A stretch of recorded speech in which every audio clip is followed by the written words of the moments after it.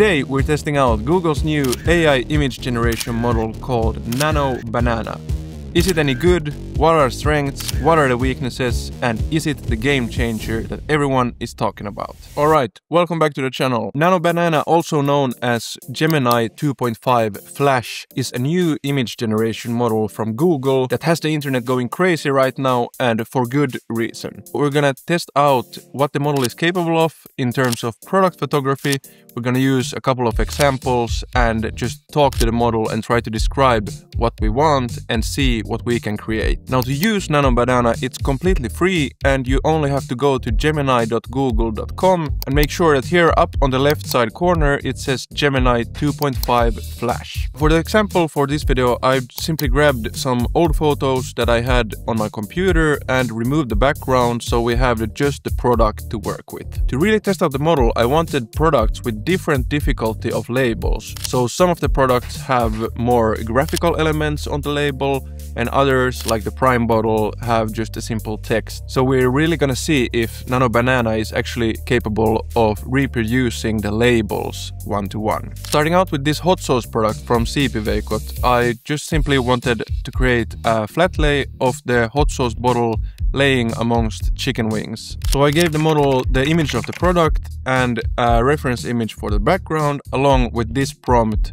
and this is the result it came up with. For a first try, I think this is really impressive. Uh, it hasn't messed up the label at all and it has placed the bottle amongst the chicken wings like I asked the lighting could maybe be a bit more interesting or dynamic, but I would give this probably like a 7 or 8 out of 10. It's still pretty impressive. Next we're gonna try something a bit more difficult. So this time I want the bottle to be placed in orange hot sauce, half submerged in the hot sauce, like in this reference image, where the tube is floating in the water but instead of the water, I want it to be floating in orange hot sauce. So I gave Nano Banana these two images and this prompt, and this is the result it came up with. And I have to say, the first time I saw this image, my jaw almost dropped. The label is again perfectly intact, and the bottle is half floating in the orange hot sauce with chicken wings around it. And this would be absolutely impossible to do in Photoshop or anywhere else, only using this image as a reference. I mean, it even added like sauce on the bottle cap of the bottle, so it really looks like the bottle has been inside the liquid. Insane. Next, we're gonna kick it up a notch because online I've seen that you can ask Nano Banana to take an image and give you another perspective of that image. So I asked it to create an image where it looks at this scene from the surface level and a hand is holding the bottle out of the hot sauce. And this is the result it came up with. I mean, I don't know what to say at this point. Uh, this, I think, is the best single image I've ever generated with AI, considering it's keeping the label almost 100% intact the studio lighting is perfect, the sauce dripping down the bottle looks high quality, mind blown. And the best part about this tool is that if you don't like something in the image, you can simply ask it to change it because it's also a really good image editor. So for example, in this image, I didn't quite like the splash at the bottom of the hand, so I simply asked it to remove it and this is the final result. Moving on to the next example, I have a pink bag of coffee beans I would like to place in this environment. Again, I gave Nano Banana the two images and I gave it also this prompt to work with and this is the result it came up with. Now this result is alright, but I think the lighting is a bit too flat, so I wanted to try to ask it to change the lighting to something more dramatic. And this is the result it gave me.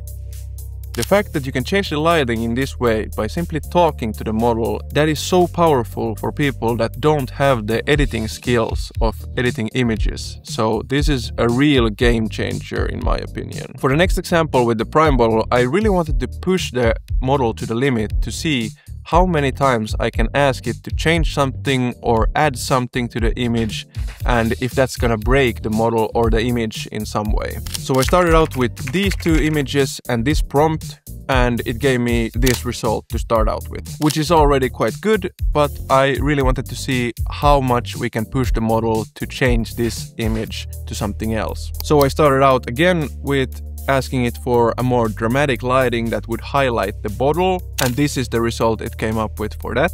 Now here I wanted to see if it could adjust the lighting back to something more soft so I said that the highlight is too harsh and make the background darker. And this is the result it gave me. After that, I wanted to add some blue raspberries into the image, so I asked it to place the blue raspberries on the glass surface, and here is the result for that. And then finally, I wanted it to place some blue raspberries inside the eyes with the prime can and this is the final result. So as you can see, we went from this image to this image simply by talking to the model and changing the elements of the image itself. Now this is simply an example, I wouldn't maybe be completely satisfied with the results here. Some of the details of the image is a bit distorted and the harsh highlight on the can is maybe not optimal but this is just an example that you can just talk to the image and make changes on the go. For the next example, I wanted to see if it can match perspective and camera angles of examples I give it. So I wanted to have an image of this YoPro bottle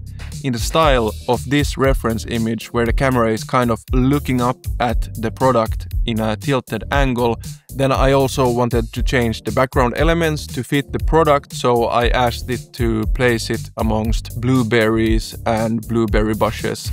And this is the result it came up with. Now this one again had my jaw dropping because it's almost 100% perfect. I mean, you could argue that, yeah, the blueberry text on the top is maybe a bit warped, but comparing these results to other image generation models, this is absolutely next level stuff. For the next example, I wanted to see how well the model is able to place a product in an environment or an already existing image. So I asked it to keep the exact same style and composition as this image, but place the crisp beer can in the image instead and change the background to a dark blue matching the beer can. And this is the result it came up with. So to summarize my initial reaction, I'm very, very impressed by this new image model. This kind of wipes the floor with all the current image models that are out there. If we're just comparing one image from Nano Banana to ChatGPT,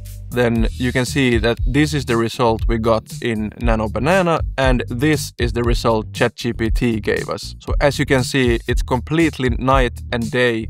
ChatGPT doesn't even get the label right on the image and Nano Banana is almost perfect. But that's it for my initial reactions video. I'll be doing more videos about Nano Banana for sure, so if you like this style of content, please consider subscribing. I also got a notification from YouTube that there's a new hype button that you can press to help out the video and the channel. So if you see that, please click that.